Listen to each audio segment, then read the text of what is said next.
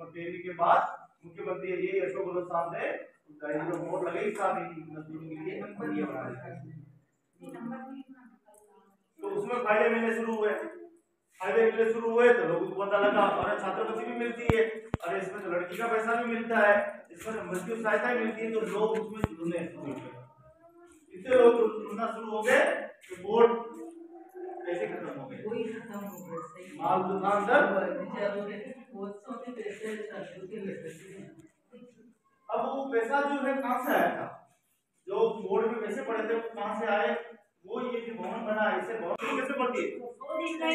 ही तो- हाँ सौ दिन हो हाँ। है है। हाँ। इन्होंने भर दिए और अब एक एक्स्ट्रा अब अगले महीने से इनको पच्चीस दिन और एक्स्ट्रा मिलेंगे है ना हाँ, तो इस योजना में अपन को हाँ, काम है। जो व्यक्ति है महिला हो या पुरुष हो दोनों काम कर सकते हैं एक सौ पच्चीस दिनों का रोज़गार दिया गया है रोज़गार का इसमें तनख्वाह नहीं है जानना इसका मानदेय क्या है मतलब रोज का काम किया रोज का ब्याज देता है मानदेय का रूप इसमें दिया गया है नहीं। तो आप एक दिन का दो सौ उनसठ रुपए आपको रोज के मिलेंगे। अब आपको काम कैसे मिलेगा? अब चित्तौड़ में आवेदन आए होंगे ज़्यादा हो सकता है हज़ार बारह सौ आवेदन होंगे। उदयपुर में आवेदन आए हैं, ग्यारह हज़ार आवेदन आए कितने और उसमें से ग्यारह सौ महीने काम इसका, इस योजना में काम उनको क्या करना है? डिवाइडर में कलर करना है। रेलिंगों की सफ़ाई करनी है। बस स्टेशन पे जो गंदगी हो जाती है वो साफ़ करनी है। पेड़ पौधों को पानी पिलाना है ठीक है? ये छोटा मोटा शमशान भूमि पे कई पेड़ पौधे लगाने हैं ये छोटा बड़ा काम है। लेकिन हुआ क्या कि पहली बार योजना ही जयपुर में जितनी भी महिलाओं को ले गए और सबको श्रद्धा घाट में लगा दिया। जारी महिला के ये माता बढ़ेगी का तो ये काम तो है महिला काम कि पाँच लाख रुपए का आपका बीमा श्रम विभाग में डायरी पे भी है वो भी आपको जाएगा तो अच्छी योजना। अभी नई नई शादी होगी है और बहुत सारी बहू हमारे यहाँ। आई है अभी वो काम करते तो उसके लिए मेरा डिलीवरी पर पहली डिलीवरी तो इक्कीस हज़ार मिलेंगे लड़का होगा तो बीस हज़ार, लड़की होगी तो इक्कीस हज़ार मिलेंगे ये पूरा प्रावधान है तो पहली योजना ये है कि हम ज़्यादा से ज़्यादा लोग इस योजना में जुड़े। ये योजना हमारे लिए अच्छी है। अगर आप लोग नहीं जुड़ोगे, और एक बात ध्यान रखना कि जुड़ तो गए लेकिन वह ठीक है, काम किया तो किया नहीं किया तो वह चल गया हमें तो बात कोई देखने वाला है नहीं। तो ये योजना में ऑडिट जब होगी तो बंद भी हो क्योंकि असंवादित असंवैधानिक योजना है। मुख्यमंत्री जी ने अपने लेवल पे चालू की है, मैं एक बार इसको चला के देखता हूँ चलती की चलती है, भारत सरकार की नहीं है। कानून कब बनता है? जब भारत सरकार में रजिस्टर्ड हो जाए, तब कानून बनता है। अभी राजस्थान सरकार ने बनाई है। अगर अच्छी हुई और बेस्ट आई तो इस योजना को लागू कर दिया जाएगा। और इसमें दिल्ली में भी हमने ये प्रस्ताव भेजा है संगठन ने कि इसमें कम से कम ढाई सौ दिन काम मिले कितना और अभी जो इन्हों- इन्होंने जो पॉलिसी बनाई हमने तो उनको ये सुझाव दिया है कि साहब ऐसा कीजिए कुछ महिला के मुकाबले भारत के पास दो दो परसेंट ज़मीन है। दो परसेंट आबादी दुनिया में नंबर तीन परसेंट पानी है चौबीस परसेंट जंगल है। और इसी कारण करते हुए मेरे दस साल से सरकार से मांग रहा हूँ जनसंख्या कानून बने जाए हम लोग हमारे जो छात्र हैं।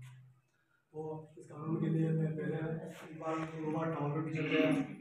आठ महीने में तीसरी बार बदल जाता कानून तो ऐसा कानून देता है हाथ में तरीका डंडा एक ही है कि जनसंख्या के लिए हर आदमी को पक्का मकान मिले अच्छी हवा मिले का पानी मिले सबको शिक्षा, सुरक्षा मिले रोज़गार मिले इसी को ध्यान में रखते हुए सरकार से मांग कर रहा हूँ जनसंख्या नियंत्रण कानून बनाए किसी जाति का नाम नहीं इसमें रहने वाले हर पाक के नागरिकों पर कानून बने इसी मांग को लेकर मैं बार बार मेरे बच्चे से भी बहुत टालने की और महात्मा गांधी की समाधि ट्रांसप्लांट में मैंने धरना दिया।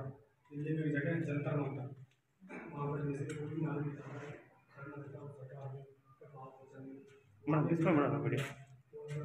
वहाँ रहा है।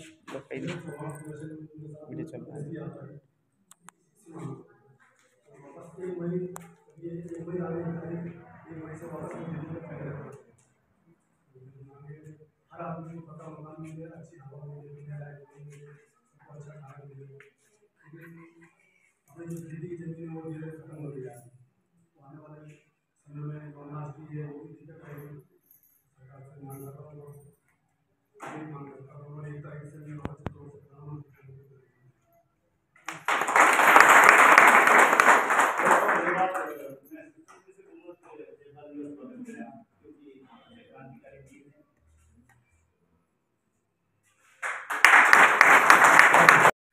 बढ़ती हुई जनसंख्या हमारे लिए, हमारे परिवार के लिए, हमारे देश के लिए और जीव, जंतु, पशु, पक्षी, सबके लिए खतरनाक है। आज स्थिति क्या हो गई पता आपको?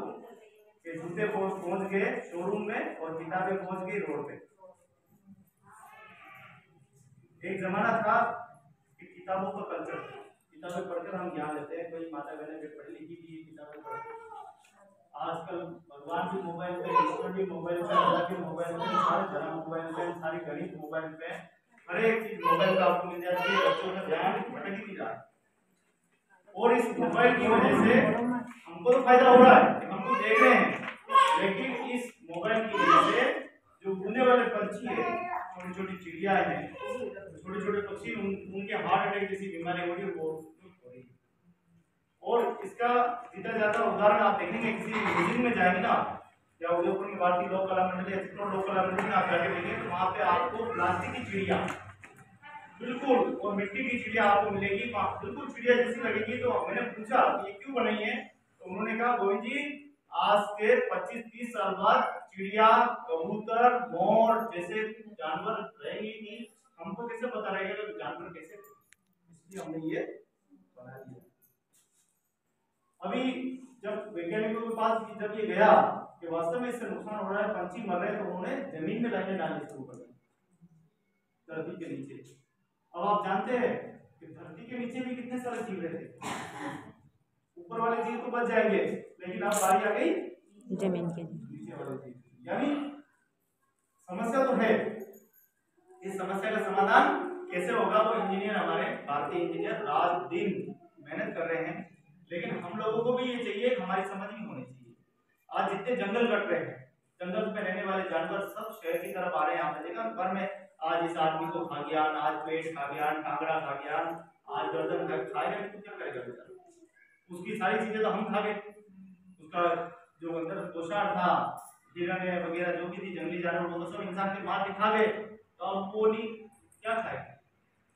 तो वो सारे जानवर बाहर जंगल के जंगल रोज घर बन रहे हैं कटते जा रहे हैं और वायुमंडल में दबाव बढ़ता जा रहा, बढ़ता जा रहा है बढ़ता बढ़ता दबाव। देख लो, अभी बरसात होने लगी। पहले कभी देखी थी बरसात? बरसात होने लग गई। धूप इतनी तेज पड़ने लग तो पूछो मत। तो ये अगर मुंबई में कभी जाएँगे? मुंबई में आप देखो एसी के बिना वहाँ कोई रह नहीं सकता। ऐसी चीज़ है मुंबई में। उसी प्रकार हमारे यहाँ भी प्रकृति का ये हो रहा है, गर्मी बहुत बढ़ रही है, बरसात तेज होती जा रही है, सर्दी और तेज होती जा रही है प्रकृति को बहुत बड़ा नुकसान हो रहा है। हम इंसानों ने क्या किया? प्रकृति के साथ खेलना शुरू कर दिया। सोना निकालने के और चांदी निकालने में इतने मस्त हो गए कि सैकड़ों किलोमीटर की गुफाएँ खोद दी हमने ज़मीन के नीचे। ये प्रकृति को नुकसान हो रहा है। और बढ़ती हुई जनसंख्या से खेती बाड़ी खत्म हो रहे हैं, लोग रोज़गार की तलाश में शहरों की तरफ़ आ रहे हैं।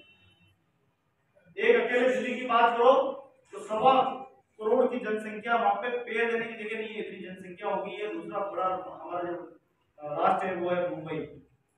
मुंबई इतनी बड़ी हो गई, सात ज़िले उसके अंदर कब आगे पता नहीं लगा।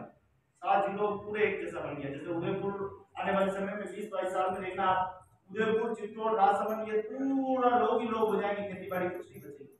हाँ ये खेती बाड़ी को बचाना ज़रूरी है